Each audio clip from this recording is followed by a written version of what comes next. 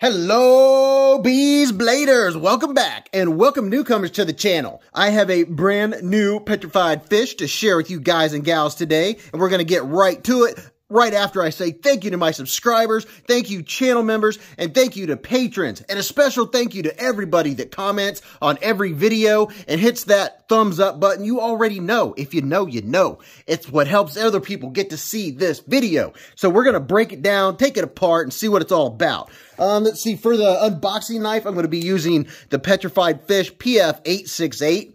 And I just put a video out on this one. If you haven't checked it out, ooh, boy, you want to check it out. And I do a breakdown, take it apart, see what it's all about. Look how smooth. Yeah, it drops shut. Anyway, let's get in here and see what this one is all about. Now, I would say my first complaint would be that I wish Petrified Fish would put a label on their box. There's no label anywhere. So I always have to label them myself so I know which box goes to what. So, it looks like you get a, a, uh, nice cleaning cloth with it, which is very nice, very, very nice. I love these. This is a nice one. This is like the one that Civivi puts out. But there's nothing else in the box in our nondescript, non-labeled box, which, come on, I mean, come on. So check this out. Ooh, that is sleek. The Petrified Fish PFE02 or PFE02. Man, that's pretty sleek, look, sleek looking. Front flipper, nice and shiny and nice and well centered. Um, it looks like we have a right side tip up only carry, but it is in set, which is very nice, very, very nice. That's going to be easy in and out of the pocket. I already know. Now you could get this in black, gray, or blue. Okay, we'll have to work on that, see how that works. Wow, look at that blade. Look at the satin grind. That is gorgeous. Would you look at it? Just look at it. Man, that is gorgeous. No branding, no billboarding on the blade whatsoever. That is very nice. Very, very nice. Let's see how sharp it is. Will it cut? Let's see. Oh, yeah. I'm telling you what, that's that's what I've been getting from Petrified Fish. They are doing their edges right. Look at the grind on here. It is so nice. Nice looking grind on that. Tell you what, so these are running about $41.99 right now. You can get them on Amazon. Uh, of course, we'll have a link in the description. Um, White Mountain Knives did have them, but they're sold out at White Mountain Knives. And while you're at it, there are 10% discount codes to all kinds of places in the description of this video. But yeah, this has 14 C28N blade steel. The designer, which I believe is right here on the clip, David Chin. There you go. Prices can change, but right now this is less than 42 bucks and it's a flipper. Ooh, yeah. Let's check out the specs real quick. All right, we'll get a weight and then we'll run through the specs in less than 60 seconds. Um, I'm going to say about 2.2. And, ooh, yeah, 2.3. How's that for close? Getting better and better all the time. All right, let's do our specs in 60 seconds. Our total length from tip to tip is 7.03 inches. You have a really nice pointy drop point blade, 14 C28N blade steel with a beautiful satin grind. Your total blade length is 2.99 inches and your sharpen length is 2.99 inches. Your blade width is 0.72 inches and your blade stock thickness is 121 thousandths. Your thickness behind the edge was 12,000 and trailed up to 14,000 and you have G10 for your handles. Your closed length is, I don't know, I'll put it on the screen. your handle width is 7.76 inches right here, and then your closed width right here at this farthest point is point, 0.89 inches. Your handle thickness is 0.43 inches. It's a front flipper, and we will do a breakdown and see all what's on the inside, and this is the PFE02, so there's your specs. Now, we've already taken a really good look at the finish of it, but I'll give you a nice up-closey. Always got to get up and close for that texture vision. Yeah, has some really nice texture. It's not overdone, but you do get a little bit extra from that milling in the G10, which is very unique, very unique. Nice looking pivot. there's your PF, your petrified fish on this side. And looking through the back, you can see all the way through, except when you get back here, like look about a half, not a half, about a quarter back spacer, G10 back spacer. And you do have a lanyard hole. You can put a big old lanyard through that puppy. But let's see how solid it feels. It is definitely solid as a rock. No blade play, no lock rock. How about our lockup? What are we looking like? 25, uh, yeah, I'd say 25, 30%, uh, more closer to 30. And oh, there you go. 14 C28N. and it's the PFE02. How about that? They did get it on there, but they put it down here. I appreciate that. That is very nice. Now your pass-through, yeah. Now see, I was wondering when I first looked at it, oh yeah, I'll show you the action here in just a second. Look at that, beautiful, beautiful sharpening choil. Wow, that is awesome. Nice sharpening choil. And there's just enough of a pass-through. You guys already know, you gals already know that I don't like it if I have to dig my finger in there, and it is so comfortable. It's just so easy to unlock. Yeah, I'm appreciating that already. So let's do some quick size comparisons. So here it is, thick-wise against the QSP Penguin. You can see it has a lot thinner profile than the Penguin. And here is a Kizer Feist. You see it's a lot more in the lines of the Kizer Feist thickness. So I'm going to lay this out and hopefully I'll put a knife up here that you guys and gals have so you'll get an idea. All right, so I'm going to put a couple big ones up. This is a new one. You might not have this one yet. This is the Petrified Fish, PF868. I just put up a video on this one. You can go check it out. I'm going to put a couple larger ones up here, and then we'll try to narrow it down. And here is the Petrified Fish Beluga. I know a lot of people love the Beluga. You can go see both of these videos on my channel. And here is the Spyderco Para 3. And I'm putting these up pivot to pivot. And the Spyderco Delica 4. So you can see it's more along, more along the lines of the Delica 4. We're getting closer, getting closer. And what do we have here? There's the CRKT Pilar 3 and the ever popular and ever loved, ever so loved QSP Penguin. Now there you go. Now we're in the ballpark, but it does have a lot of cutting length.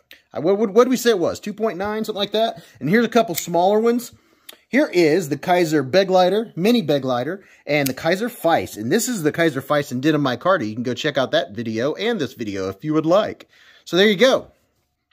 Now, as far as deployment, there's not a lot of options. I wouldn't call this a fidgety knife per se, per se but I'm going to back it out for you here. Let's back her out. So front flipper isn't too bad. Let me try it. Let me try it holding it naturally. Yeah, yeah, not too shabby. How about, yeah, there we go. If you haven't tried this, this was a game changer for me. You put your index finger up here and just roll it right around. Flips it right out. It's nice and comfortable. Yeah. How about left-handed? Now, left-handed, I can't front flip worth a darn with my left hand. The action, a little stiff. We'll see if that improves. Now, can I do the over the top? Oh, I could do over the top with my left hand. How about right-handed? Yes, that's fun. I can't always do that with a front flipper, but yes, it does that very nicely, very nicely. It's holding the blade in, the detent's working well. It doesn't have the strongest detent in the world, but it definitely works. The uh, ergos, let's check out the ergos. My hand, from here to here is four inches, here to here is three and a half, from here to here is seven and a quarter. This gives you an idea. Full, yes, full grip. No hot spots at all. Yep, we're winning. We're winning. It's comfortable. You can really get down. If you're making a hot dog stick or a marshmallow stick, you're in it. You're in it to win it. It's very comfortable in my hand, squeezing it. The pocket clip's not bothering me. The pocket clip's just enough out of the way that it's not bothering me at all. So that's very comfortable. This is going to be a great utility knife. Look at this for utility cuts all day long. All right. Yeah. Liking it. Liking it a lot. Left-handed, it's comfortable. I'm feeling the I'm feeling the clip right here, depending on where I'm going to hold it. But that clip does hit me with in the middle finger if you're left-handed, and you can't reverse the clip. So, and now here is one other thing. You could take the clip off, and this would be a nice pocket dropper. I mean, it's a gentleman gentlemanly carry for sure. Nice low profile. That is pretty nice. I like it. All right, we're going to get in here, break it down, and I put everything that I use to do my disassemblies right here on the screen. That way you can check it out. There's a link to all of these things in the description if you want to get them for yourself. So, and also make sure you get the right size Wiha bit set. If you use my link, you'll go to the right set. And also, it works as a great backup bit driver. But this is awesome. This was recommended by me, to me, and now it's recommended by me. But let's get into it and see what it looks like inside here. See how much it may or may not improve. And I'm going to use a T8 in the pivot. Oh yeah, came, came apart very easy right there. Very, very easy. And this looks like a simple design. We will find out. And it shouldn't take too long. depending on what we find out when we get inside here. Yeah, I know one of these days I'm going to say that and I'm going to regret it. It's going to be a bear. It's going to be a bear. Oh, okay. Check this out. This is pretty cool. So the pocket clip, you screw it from the inside. How about that? It all comes apart in one piece. That is pretty cool. I'm going to get, I have uh, some pieces of microfiber cloth. I've kind of switched to these. I used to use uh, cleaning patches, but I don't know. I kind of like these microfiber cloths. Kind of privy to them. But I'm just going to clean this off. It's not really that dirty.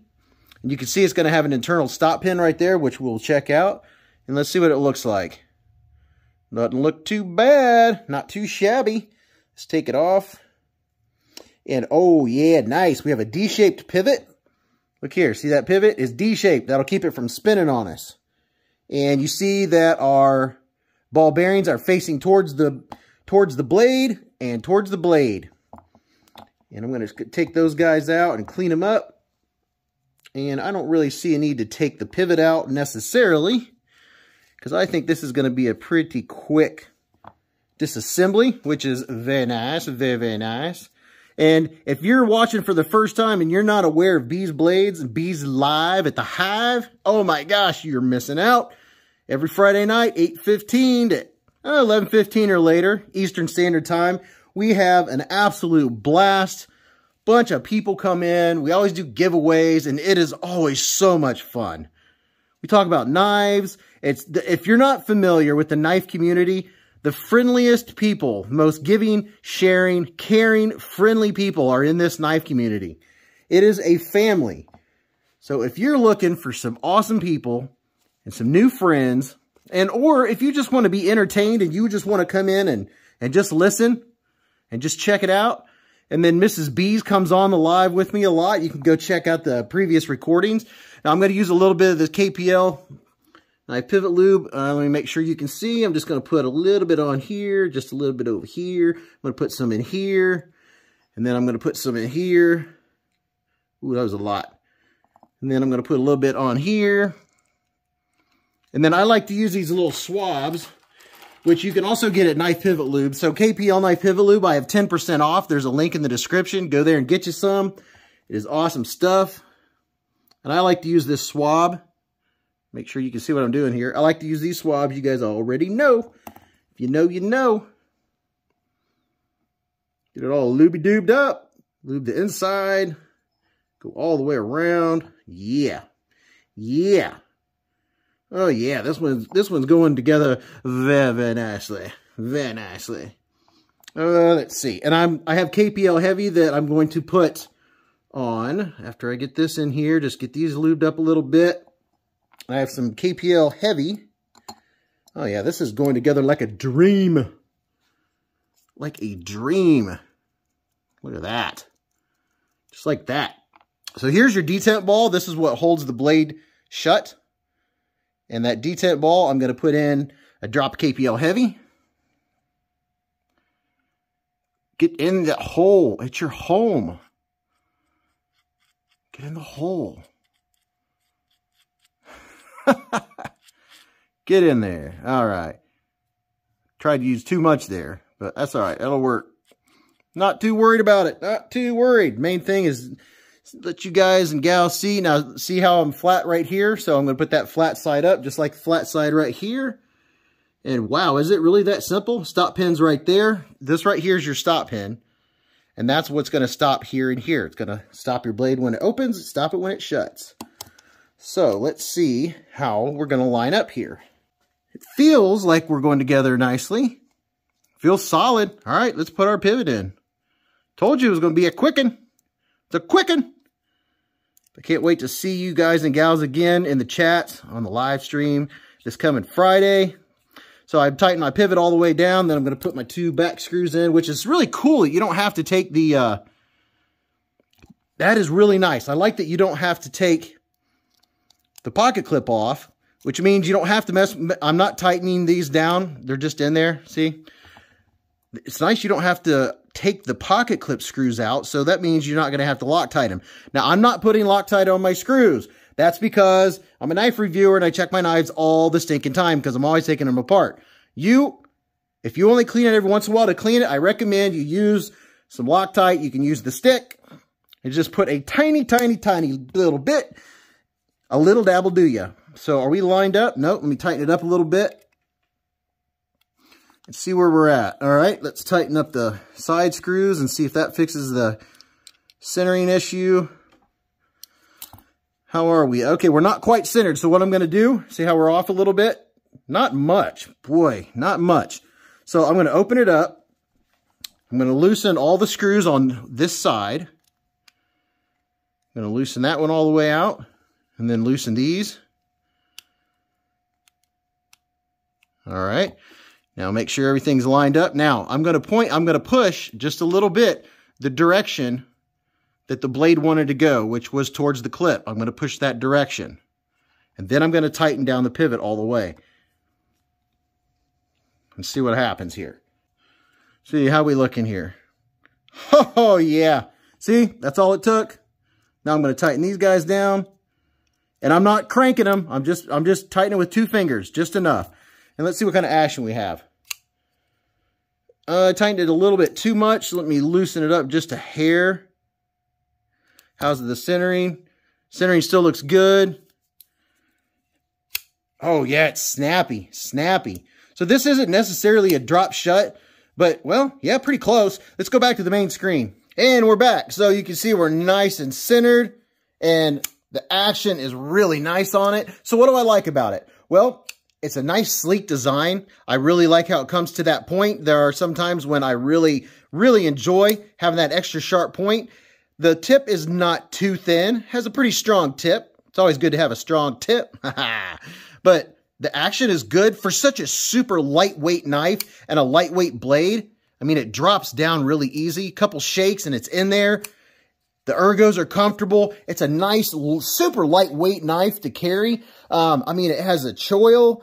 I mean, I don't know. I don't know what negative I would have to say. It breaks down and takes apart. You take apart really easy. I don't have any issues with it. And for the price, what was it? Less than 42 bucks? I mean, man, it's a good flipper. And the doesn't have the strongest detent. I would say maybe it has a, a maybe a medium detent but you don't need a strong, you don't want a strong detent with a front flipper. Other than that, I mean, it is, yeah, I could, I could see fidgeting with this all day long, especially an index fidget. Oh man. And I know that's not the reason you get a knife, but it's what I do when I'm driving or if I'm typing or something like that with one hand. I use the other hand to play with the knife. What can I say? It's part of, part of my everyday carry journey. So there, there you have it. I, I really like it. I don't have any complaints. Let me know what you guys think about it. You like it? You want one? Maybe in the future? Is it on your list? Tell me what you had for breakfast. You already know. But I really appreciate you guys and gals being here. Remember to live life in the present. Keep a band-aid handy and don't cut yourself.